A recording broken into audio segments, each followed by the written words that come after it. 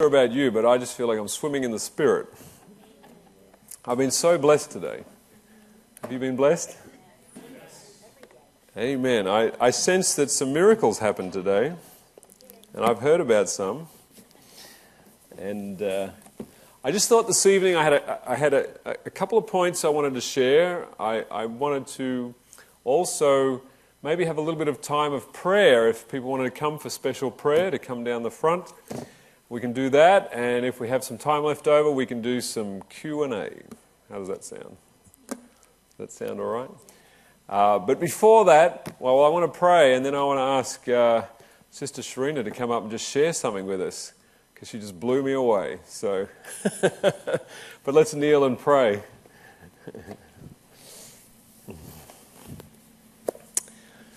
Father in heaven, what a joy it is to come to you again. You're never weary of us praying to you. You're always open to us when our hearts are turned towards you. Thank you for drawing on our hearts. Thank you for filling our lives with joy today at the revelation of your character of love.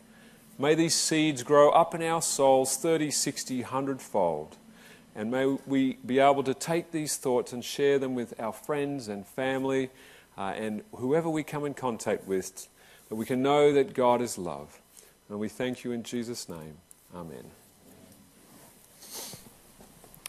So come and share with us.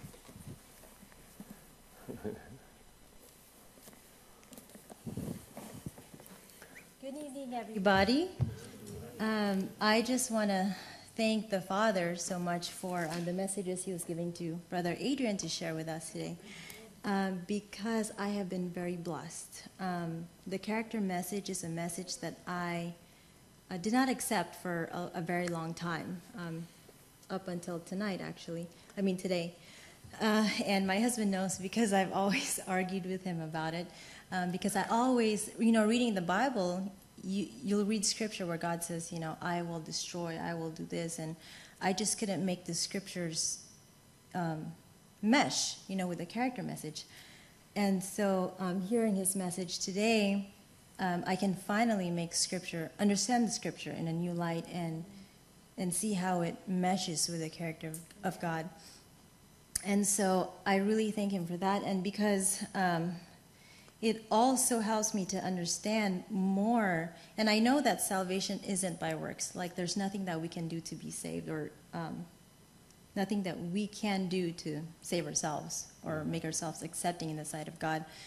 And this message also has affected my understanding of that because I'm more clearly seeing that there really isn't anything that we can do, you know, to save ourselves.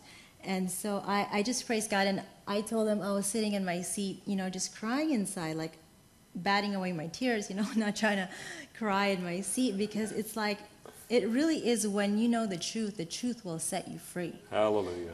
And um, yeah, I just rejoice in that. And I just thank Brother Adrian so much for that message and that he has allowed God to speak to him and, and share with the people. So, yeah, thank you so thank much. You. And praise God. You're just scratching the surface, too. You just watched one message. yeah. Just wait until you see everything else and read all of it. You're crying on the outside. uh, thank you, Sharina. I really appreciate you sharing that. It, it just makes it makes the journey worthwhile when you can see people uh, respond and they can see it, that our Father really is love.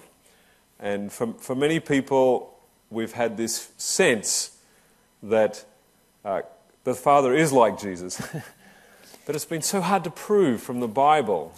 Uh, and there's been many, I've had many concerns and uh, worried about presenting this. And it, uh, for myself, I know that in my position that I, I have a responsibility because uh, many people read my material and uh, I desperately don't want to lead people astray. I, I, I, want to lead, I want what I share to be the truth. And every man has faults and weaknesses and can be led astray very easily. And I desperately uh, ask for your prayers that I continue to point people to Christ and in the right direction. And uh, so, yeah, I, I agonized about this as I did about the feast.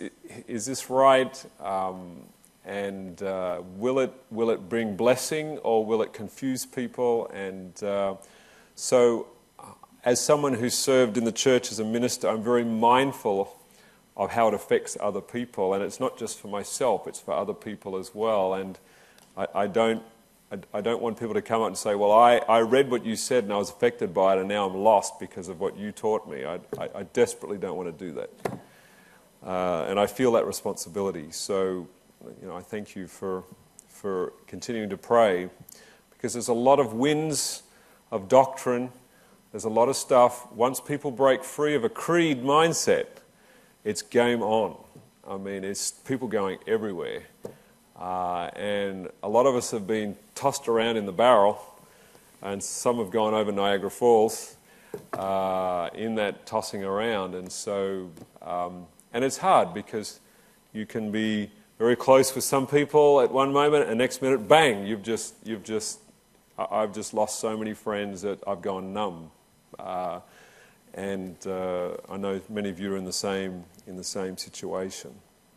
So, uh, there's just one thing I wanted to share, and it's, it's really in the book, The Living Bread uh, from Heaven. It's the most recent book that we put together in Germany. I just wanted to make sure that we understood the principle of the meat offering, the amount of flour and oil that is attached to each sacrifice. Uh, has, you, have you all heard this principle? I don't want to go over it again if you've all heard it. So you haven't heard it? Okay. I touched on it a little bit, but just, it's just something very exciting in, in the scripture. I just want to share just this point. Let's take Let's take uh, maybe 10, 15 minutes. But come to Numbers 28. And we, we see, based on John chapter 6, uh, and uh, maybe before we go to Numbers 28, come to John chapter 6, because this is interesting. What's really interesting about John 5, 6, and 7 is that it's, all of these chapters are connected to appointed times, uh, which many of you will already know. But it's the feeding of the 5,000 when Jesus uh, is, is doing this miracle. It's just this interesting little footnote. And again, why is John making this comment in verse 4 of chapter 6? And the, Passover, uh, and the Passover, a feast of the Jews, was nigh. Why does he make this comment? Uh, and then it goes on. Of course, in the Passover, they're going to be eating unleavened bread. So Jesus is wanting them to understand what this symbol of unleavened bread points to. And so he works this miracle of feeding the 5,000, and then he gets into a discussion with them about who really is the bread. And we, so we see again and again, I am the bread that come down from heaven. I am the living bread. And he keeps saying this over and over again. Your fathers ate bread in the wilderness and are dead because they ate it without faith. There is no life in and of the bread. And, and this is just a thought we need to keep in mind that, you know, the food that we eat, the food that we eat is not what keeps us alive. If the food that we ate kept us alive, we would never die, but we still die. So the food doesn't keep us alive. God keeps us alive through the channel of the food. Every loaf of bread is stamped with the cross of Christ. It's the power of Christ that makes the seed grow. We just put it in the, in the ground and it grows, but it's the power of Jesus Christ that makes it grow. And so every meal points to us of the sacrifice of Christ. And so he's, he's making this principle uh, clear in John chapter 6. So when he says, I am the bread, he's pointing us to all of the sacrificial system back in Numbers chapter 28. So when we read, if we come back over to Numbers chapter 28, because you have to ask yourself a question have you, ever tr- have you ever tried to work out the measurements of the, the flour and oil that are connected to the sacrifices and wondered what on earth this has to do with the gospel. Uh, we come to verse uh, 3 of Numbers 28. And thou shalt say unto them, This is the offering made by fire, which ye shall offer unto the Lord two lambs of the first year without spot day by day for a continual burnt offering. The one lamb thou shalt offer in the morning, that's the morning sacrifice, uh, at the third hour of the day, and the other lamb shall be offered at even, and a tenth part of an ephah of flour. What's a tenth part of an ephah of flour? Well, in my part of the world, we operate in metric, so that's about 1.2 kilos, or so about two and a half pounds of flour. 2.2 pounds per kilo, approximately. Uh, so in the morning, you've got uh, about two and a half pounds of, of flour, or 1.2 kilos, and you have about a quart of oil, where it says uh, a fourth part of a hin of beaten oil. It's about a quart, or what we would say just under a litre. It is a continual burnt offering which was ordained in Mount Sinai for a sweet savour of sacrifice made by fire unto the Lord. So, with the offering of the lamb, there is then also the bread, uh, because mix- you're mixing the oil with the flour, which creates an unleavened bread, and it is put on the altar of sacrifice. And the priests will then eat from this bread, and the priests and their families will eat from this bread. There's also the, uh, the drink offering, verse 7. And what's interesting about this, the drink offering, therefore, shall be a fourth part of a hin for one lamb in the holy place shalt thou cause. And it says, strong wine to be poured under the Lord. Now, that word strong wine is a bad translation. And I wrestled with this because, we, you know, the un, you've got unleavened bread and then you've got, which is unfermented, and then you've got fermented wine. It just doesn't work. The, the actual meaning of the word here is preferred wine. And what was the preferred wine in John chapter 2? The wine that Jesus made? It was pure, it was unfermented, it was the choicest uh, grape juice that was available, and this was offered as a, as a drink offering. So you've got the wine and the unleavened bread being offered every day. Uh, and uh, this is what's happening morning and evening. So then in verse 9, and on the Sabbath day, two lambs of the first year without spot, two tenth deals of flour uh, for a meat offering mingled with oil, and the drink offering thereof. This is the burnt offering uh, of every Sabbath, besides the continual burnt offering and his drink offering. So on the Sabbath, you are doubling the flour and the oil. So it's 2.4 kilos of flour on the, on, for each day, it's a total of 2.4 kilos of flour and 1.8 litres of oil every day. But then on the Sabbath, this is doubled. So you're getting double the amount of bread and double the amount of the drink offering. If Jesus is the bread of life, this, the symbolism here is that there is a doubling of the Spirit of Christ that's coming on the Sabbath. Do you, you, you see? Otherwise, what does this mean? Have you ever asked yourself, what does it mean, all these measurements?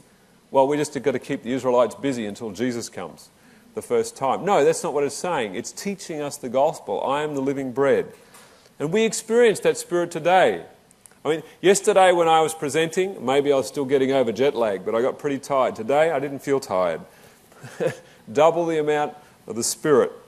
So, verse 11 And in the beginning of your months, you shall offer a burnt offering unto the Lord, two young bullocks, one ram, and seven lambs of the first year without spot. So now we've got two bullocks, one ram, and seven lambs being offered. This is a tremendous sacrifice on the part of Christ in order to give us the living bread. So, what is the symbolism? We read in, in Romans chapter 1, verse 18 and onwards, it says that the unrighteous suppress the truth in unrighteousness. Every day, the Spirit of Christ is poured out and is reaching into human minds, and human minds are pushing away the Spirit of Christ and acting in sinful ways which torture Christ. We know this ourselves. Every time you reach out to someone you love, and you try and speak to them about the truth and they push you away, it hurts you terribly. And so you're tempted to stop trying because you don't want to be hurt anymore. Jesus doesn't stop trying, he keeps trying every day. Reaching out, he makes himself vulnerable. He opens up his heart. He sends his spirit, and he gets rejected, despised, rejected, pushed back. And that's the sacrifice that he makes in order to send out this spirit that flows out of the throne of his Father. He faces this scorn and rejection every day. Do you see the beauty of the cross? The cross of 2,000 years ago is a channel into an understanding of what the suffering of Christ is really about. The suffering of Christ, the six hours of Jesus on the cross represents 6,000 years of suffering. As the Spirit of prophecy says, daily he suffers the agonies of crucifixion. And it has to be this way, brothers and sisters, that for grace to be offered to Adam, to Abel, to Seth, there had to be a sacrifice that was being offered back then in order for grace to be made available.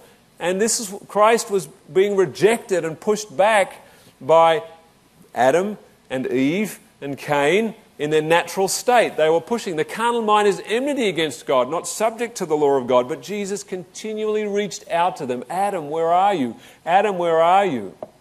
And in the spirit, in the old nature, Adam is pushing him back, pushing him back. And this is the sacrifice represented by the lamb and by the bullocks and the rams, etc., in order for living bread to be given.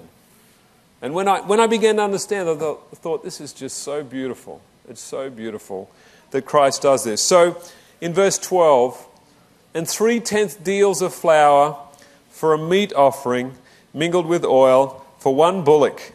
Three tenth deal for, for one bullock. Two tenth deals of flour for a meat offering mingled with an oil for a ram. And a several tenth deal. That's one tenth for each ram. When you put all that together, that's about 20 kilos of flour, or about 50 pounds. So you, you're, getting, you're getting 2.4 kilos each day, you're getting nearly 5 kilos on the Sabbath, and then you're getting 20 kilos on the new moon. 20 kilos of bread. The living bread is coming down.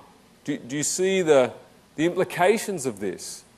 How that this is coming out. But once you enter into the Sabbath principle, that the Sabbath is a doubling up of the Spirit, once you accept this principle, you then can open yourself up to this continuing to expand out into the new moon, so that you're receiving the 20 kilos of flour. So, when you're coming into the seventh day Sabbath, as we have done today, when you are reading this passage, I invite you by faith to believe that there is a doubling of the Spirit on the Sabbath day. This is an act of faith. It's righteousness by faith that you believe the Spirit is being doubled up on the Sabbath. There's no works involved in this at all. It's simply that you open your heart and believe that Christ will come to you, will teach you, will bless you, and strengthen you. Isn't that righteousness by faith? It's a simple principle. But then what about on the new moon? Do you want to believe what this is actually saying that's written.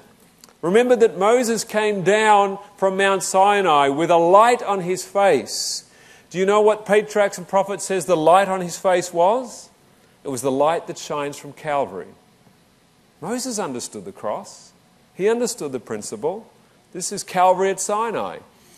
And so, at the time of the new moon, and new moon is in a few days. So I invite you to test the principle. It's not, it's not too far away. And whatever calculation, and maybe you, we'll ask a question about how to calculate these things. Many people say, How do we do it? How do we do it? How do we do it? The first thing is to accept the principle. And at first, don't be too particular about the details. Don't get caught up in the detail. Accept the principle. As I have done this and, and uh, said, Okay, this is the best I understand. I'm going to uh, remember the new moon at this particular time. And I've been tremendously blessed because I'm just like a little kid trying to work it out. Does my Father in heaven go, wrong? And knock? No. He goes, come, come, come. I'll bless you. That's my Father. That's how He operates. And so, in a couple of days, I'm looking forward to 20 kilos of flour. Anyone want to celebrate with me? because that's what it's saying here. And many, many times I've experienced tremendous blessing. Now, I just want to let you into a little, uh, a little bit more of experiential side of things. I went back and I did some checking. And uh, my wife and I got married on a new moon. No wonder it was such a good day. it was tremendous. And uh, interesting event. What does it say? Ezekiel 46, verse 1. What does it tell us? Let's have a look. Ezekiel chapter 46. We're entering into the third temple, or the fourth temple. Thus saith the Lord the gate of the inner court that looketh toward the east shall be shut the six working days, but on the Sabbath it shall be opened, and in the, new, and in the day of the new moon it shall be opened. Yeah, first verse.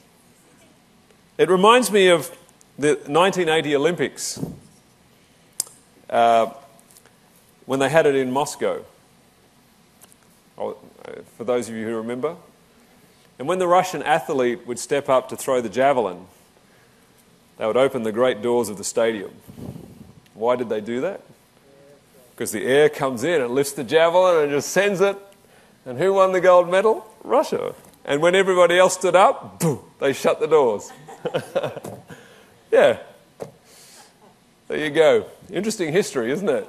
But what's the principle? When, when the gate is open, access. There is greater flow in the Spirit that's occurring at that particular time. This is what it's saying. It is closed the sixth working day, opens the Sabbath, opens the new moon. Do you want it? Do you believe it? By faith, you see? So, the new moon uh, is a blessing. And as we are told, from one new moon to, to another, from one Sabbath to another, shall all flesh come and worship before me, saith the Lord. So, and here's the principle if you enter into a belief that on the Sabbath you're getting a doubling up of the Spirit of God, and you're having such a tremendous time, and somebody comes uh, along and says, Would you like more of this? What are you going to say? No, no, no, no. I'm full. I don't need any more of this. What are you going to say? No, yeah, I want more. Give me more. I'm hungry.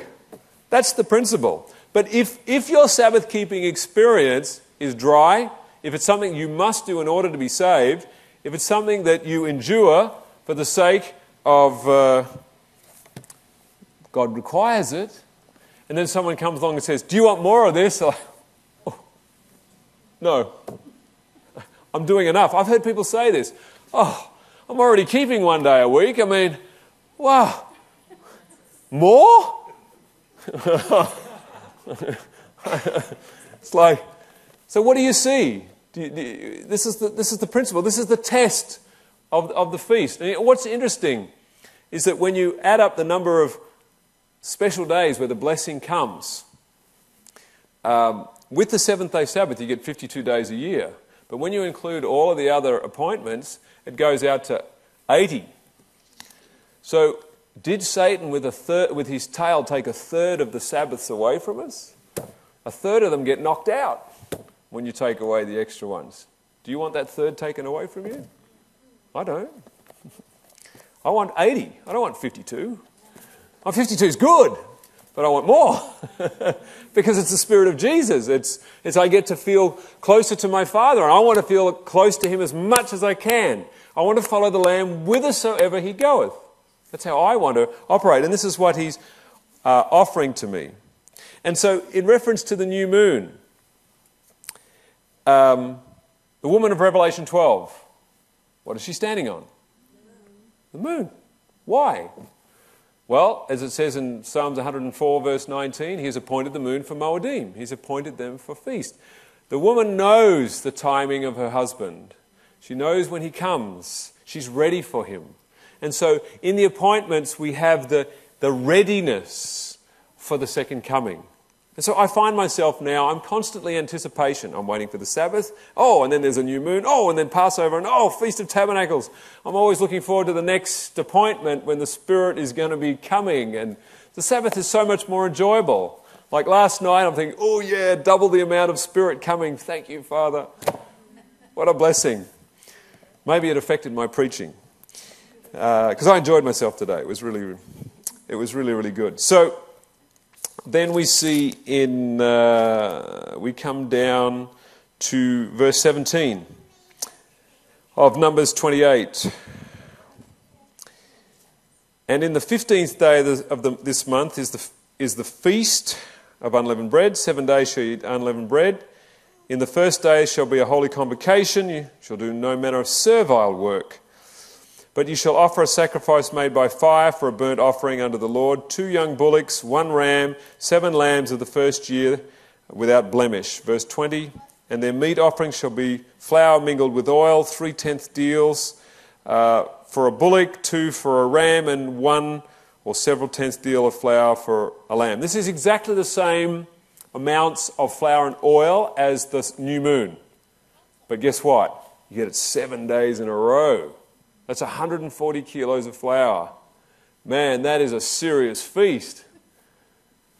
And it's, it's there for God's people, if you want it. If you want it. And you can keep going with each of the, the sacrifices until you come down to uh, the Feast of Tabernacles. And it's, notice verse 13. Get, just get a grip of this. And ye shall offer a burnt offering uh, this is 29:13, a sacrifice made by fire of a sweet savor of the Lord. Thirteen young bullocks, two rams, and fourteen lambs of the first year shall they offer without blemish, with all their accompanying flour and oil. And then on the, t- on the next day, it's 12 bullocks. On the next day, it's 11 bullocks. On the next day, it's 10 bullocks. And all the flour and oil. And I did all the calculations. That's 420 kilos of flour in the Feast of Tabernacles. There's nearly a thousand pounds of flour on the Feast of Tabernacles. Do you believe it? It's amazing. On the Sabbath, on the Sabbath, it's uh, 2, 2.4 plus 2.4, so it's 4.8. This, this time, it's 420 kilos. But it's a magnification principle. This is what we're talking about the Sabbath fountain. As it's coming down, it's getting wider and wider and wider. And this is what we see in Ezekiel 47. What do we see coming out of the sanctuary? Remember um, Leviticus 26 reverence my sanctuary and keep my Sabbaths. And as the water is coming out of the sanctuary, have a look at Ezekiel 47.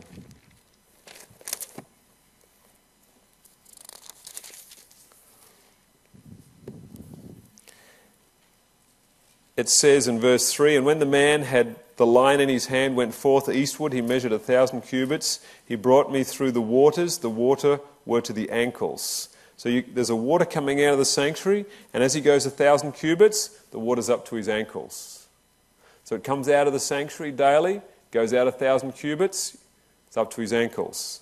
And he measured a thousand uh, uh, measured a thousand and brought me through the waters. The waters were to the knees. Again, he measured a thousand and brought me through the waters, were to the loins. So as you're going out of the sanctuary, the water's getting deeper and deeper and deeper. And as you move through the feasts, the Spirit is getting deeper and deeper and deeper as you go along. The great thing about is when you're in a moving current, when the water gets up to your waist, you're getting to the point where you're no longer deciding where you're going the Spirit's deciding and leading you where it wants to take you. You, you see that? And when it gets over your head, well, you're just doing backstroke. It's great. You're just in the Spirit. Isn't it a beautiful, beautiful system? Our Father just loves to give, He loves to pour things out upon us. So when we're in Germany, you know, I'm there, we're eating 420 kilos of flour. I mean, we, you've got to share it with someone. I mean, you can't eat all that stuff yourself. You've got to We've got to bring other, we've got to bring in the lame, we've got to bring in the sick, we've got to bring them all in to receive this blessing because it's like 420 kilos of flour. You, you, see? That's why I love the feasts. It's great. That's why I've understood the feast, especially tabernacles, to be an evangelistic event as well. Yeah. It's about evangelism, not so much about, you know, we do something to gather together or whatever. Well, in both cases, if we gather together and have a tremendous blessing and then we go out after that, we can do that, or bring people in. And uh, what I'd like to do is run meetings during the day for the believers and then have an evangelistic program each night to bring the people in so they can have some of this food as well. And, and this, is, this is the point, and I'm glad Bill brought this up, is that in my mind, I operate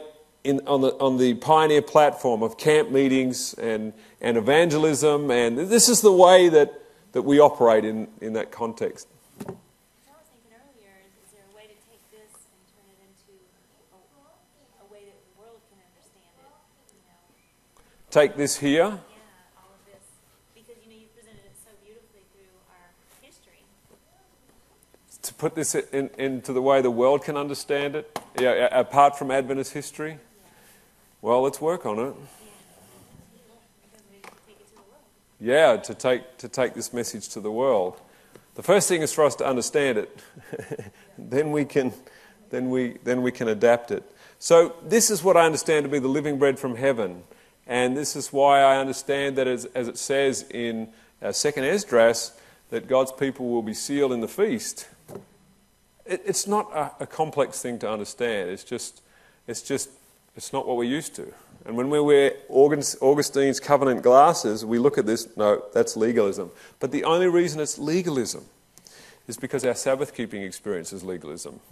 And the feast is going to blow you out of the water if, if that's what, what you're doing. Now, the other, the other thing I will say in reference to this is that the feasts are an expansion of the Sabbath. Okay, Import, it, it, so that we can get a principle of magnification, the Sabbath must stand above the feasts. In order, as the Father is greater than his Son, the Son magnifies the Father. But many people want to elevate the feasts and make them co equal or one with the Sabbath. You do that, you destroy the magnification principle. Okay, so, and once you do that, you, uh, there's all kinds of problems. And my observation is the reason why many people are so af- aloof from feasts is because they get exposed to, well, you've got to do this, and you've got to do this, and you've got to do this, and you've got to wear this, and you can't wear this, and you can't eat that, and you can't do this. Well, that sounds very boring and dangerous. And that's why, and, and the sad thing for me is that I don't mind people um, wanting to ex- experiment with some Judaism uh, and bringing in those aspects into it, but the problem is, is that many Adventists lose their Adventist identity uh, and go into Judaism and into Hebrew roots and into all this kind of uh, uh, thing, which is, is worrying to me. Because we, and to me, I'm a Seventh day Adventist, and I stand on that platform. And as Bill was saying, that's, these times are the best times to do evangelism because you've got a lot of bread on offer uh, and, and reaching out to people. And uh, I, I, have a lot of people say to me, like, well, well, people saying, I've got to do this, and I can't eat this, and I can't do that, and I'm supposed to wear this. And, and I'm like, you know, when people say to me, What do you do on the feast? I said, I get my surfboard and I ride. Because the Spirit's coming through in great measure.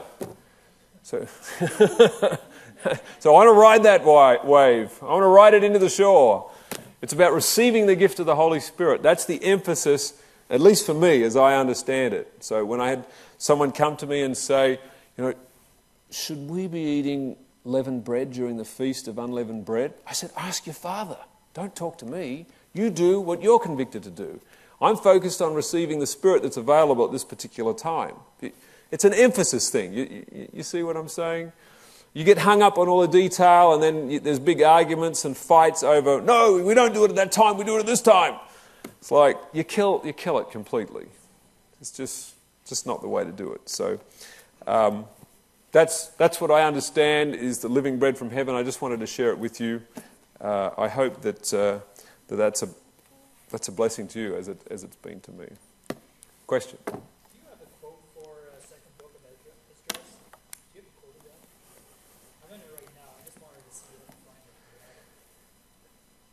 Um, second, I think it's in chapter 2, uh, 238. Try me out. See how good my. Uh, it was. Uh, it's early in the in the book. Oh, so it's the first book. Second Esdras. Yeah, second Esdras. It goes to eleven. Uh, chapter two.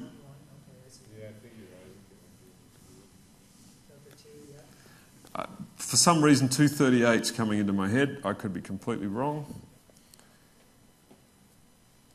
Oh, I'm right. Arise up and stand. Behold, the number of those that be sealed in the feast of the Lord. Uh, second Esdras.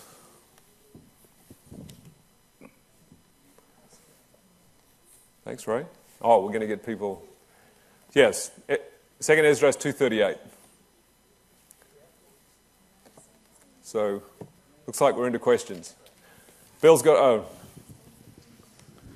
Okay, so after being at a meeting not too long ago where this was a real issue over feast keeping and just covenant understanding, I've been doing some, you know, earnest investigation of my own, and um, and you know, being in ministry now, I've been reading Acts of the Apostles again, you know, because I figure if I want to lead people, I should go back and study the way the the apostles were leading in the early church. So you come to Acts of the Apostles, chapter 19.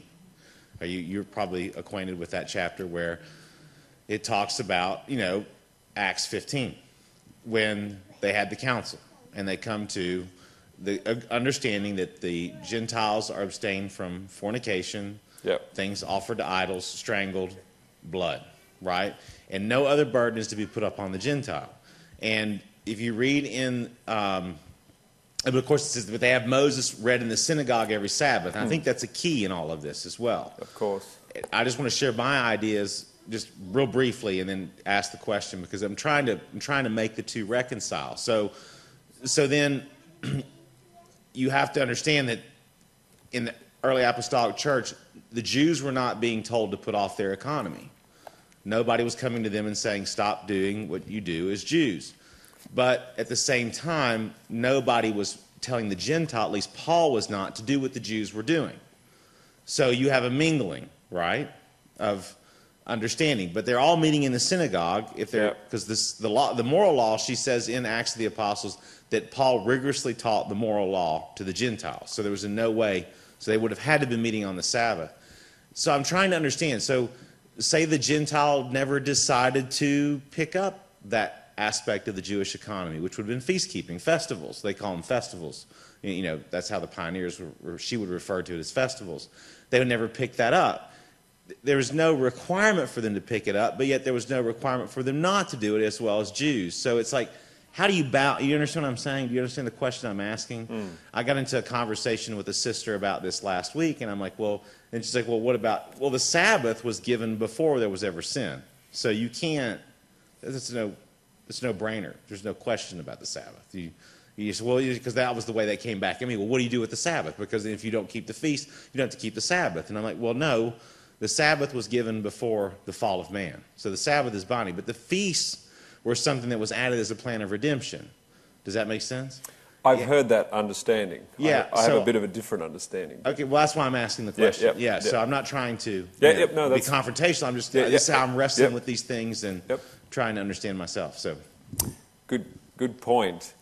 In reference to Acts chapter 15, the, uh, the, my, my emphasis on this, and I, I guess I can share it with you this way, because, because the human spirit is so much desiring to ask this question what must I do to be saved? We are so naturally desirous to find out what I have to do. What do I have to do? What do I have to do? There's such an emphasis on that that coming into feast keeping with that mindset is very dangerous. And so, like what we've done in Australia is, is uh, the first time we, we had a, a Passover, we only had evening meetings. We didn't even put together a camp because this is, they were still working and still at work. Uh, and I didn't say anything about stopping work or anything like that. I just said, let's just come in the evening, let's just celebrate because I just want you to get a taste. I just want you to ride your surfboard just a little bit and get a feel for the Spirit. And they had a wonderful time, just a blessing, just doing a meeting every night, just to, to give a taste. So it's how you present this. If I had to come along and said, well, if you're going to keep a feast, you're going to have to stop work, you're going to have to do this, you're going to have to do this. And then the, some people will go, uh, and then the other people go, okay, all right, well, let's do it. Let's grind our teeth down and let's really get into it and do it. So, uh, as far as the optional aspect is concerned, and this is something that I have done with on every subject of standards and Christian uh, living, I've said to people, do not embrace a reform until you see the freedom in it. Okay? Don't embrace a reform until you see the freedom in it. If you do it without seeing the freedom in it, you're in bondage. I've said this to, I've said this to, to people uh, when I've talked to them about jewelry. Do not embrace the reform until you see the freedom in it. If you do it for the wrong reason, you're in bondage. And you're longing to put the stuff back on because you're only doing it to gain merit with God. And this is the principle that I've operated on. But what I say to people is in the appointed times, there is all this extra gift of the Holy Spirit that's available.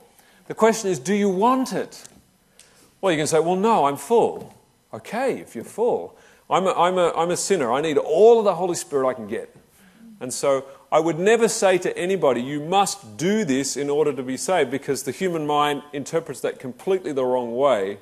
Uh, and uh, yeah, they're focusing on what we will do rather than receiving the Holy Spirit. So that's why I call myself a feast receiver.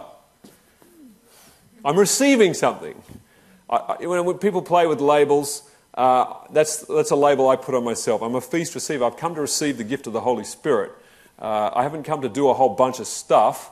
Uh, I just want to receive the Spirit of Jesus. And so, in reference to, uh, and I, I, see your question, but in reference to the feast coming after the fall, we need to think carefully about this particular point because there's, there's a danger here that we say, well, we, we have to observe the Sabbath because it was before the fall. Uh, there's a danger of legalism in that argumentation, like I have to do it because it was before the fall. So, uh, not that everyone does that, but the problem with this is that we could say, well, I have to honor the Father because he came first, but Jesus came after the Father, so he's not as important. There's, there's a problem with that, with that understanding. In my understanding, as Jesus inherited all the fullness of the Father's divinity, the feast inherit all the fullness of the Sabbath rest and magnifies it. And so this is the principle. The feasts come after the Sabbath, but magnify the Sabbath. Jesus comes after the Father, but magnifies the Father. It's, a, it's the same principle that's operating there. And so when you read in Genesis 1.14, it says that God made the two great lights for days, for years, for Moedim.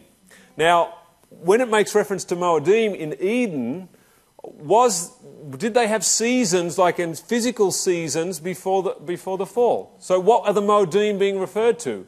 Well, it's spiritual Moedim that's being referred to.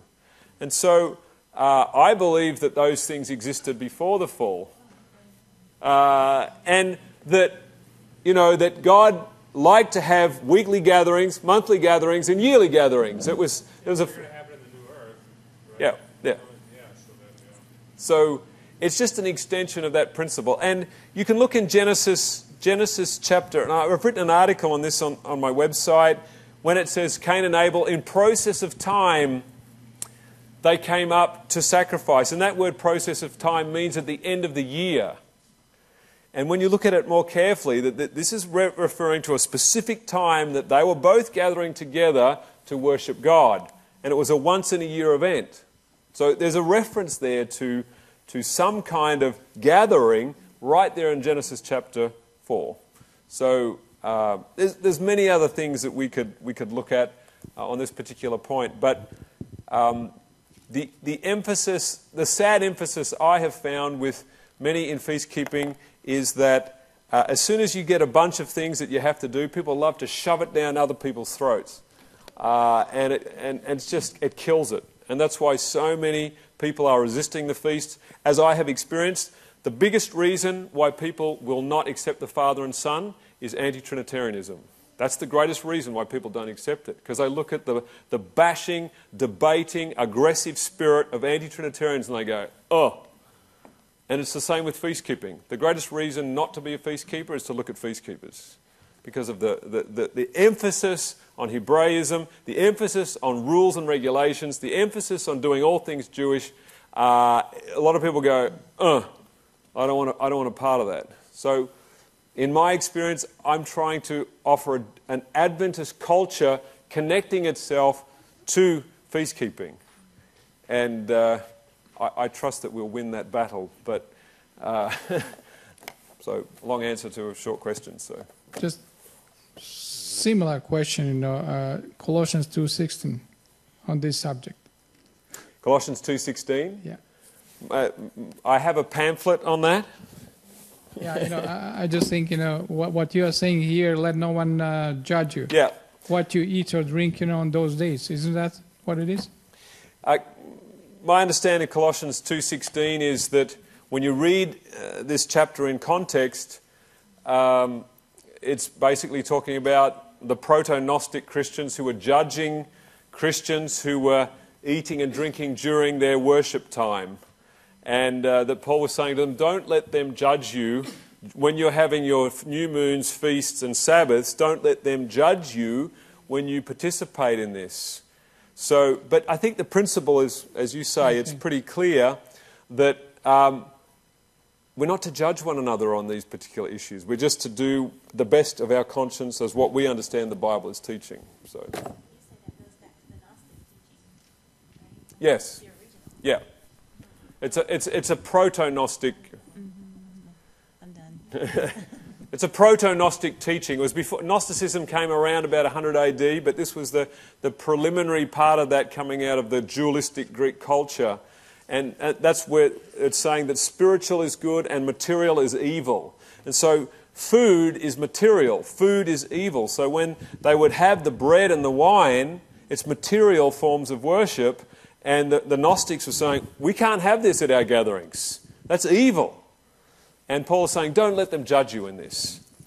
Okay, others try and say that it's an emphasis on Judaism, and maybe uh, there's an also a reference there to Judaism in terms of the Jews saying, well, it has to be done a certain way, and you still have to kill this animal. And you... No, don't let anyone judge you in, in these things. So, any other questions? We're all done.